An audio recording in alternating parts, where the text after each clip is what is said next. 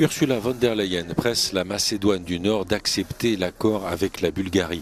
Le compromis permettrait de lever le litige qui bloque l'ouverture des négociations d'adhésion à l'Union européenne. Le projet implique notamment la reconnaissance constitutionnelle d'un héritage bulgare essentiel de la Macédoine du Nord. L'accord avec la Bulgarie suscite de vives critiques.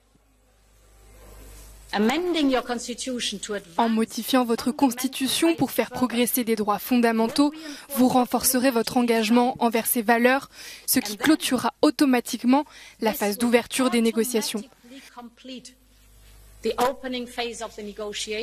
Cela déclenchera une autre conférence intergouvernementale sans autre décision. Les partis nationalistes nord-macédoniens n'acceptent pas la proposition de compromis imaginée par la France et dénoncent des risques d'assimilation et de perte d'identité.